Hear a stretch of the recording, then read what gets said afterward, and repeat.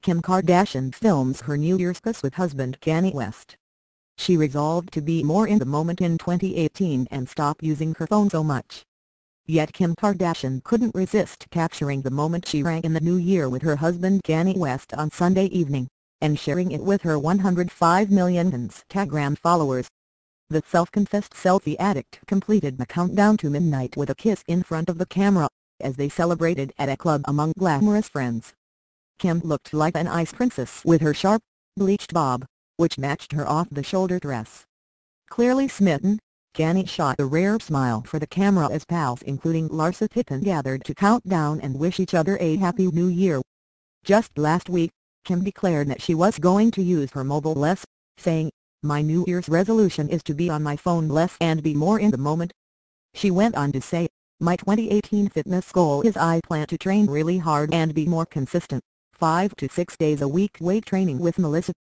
2018 will be the year that their family of four becomes five when they welcome a third child via surrogate.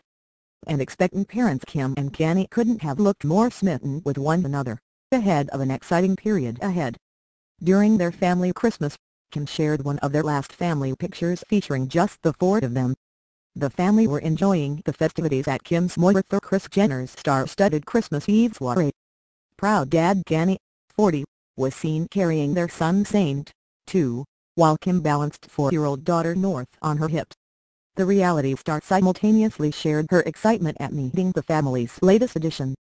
Writing on her blog, she was saying that she looking forward to our new baby girl coming.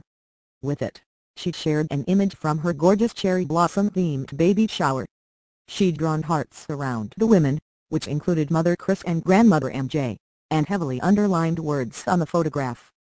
Kim spent the month of December teasing Kardashian holiday photos on Instagram, only to delete the entire series from her account days after Christmas. Hours later, Kim claimed on Twitter that deleting all Instagram traces of the notorious card was always the plan. I archived sick them so my Instagram feed vibe is back.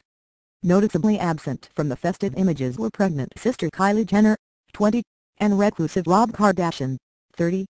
Kim's sister Khloe, 33, finally confirmed her first pregnancy with basketball player Tristan Thompson, 26, two weeks ago. Kylie has stayed largely out of the spotlight since rumors began to swirl that she's expecting her first child with boyfriend Travis Scott, 26.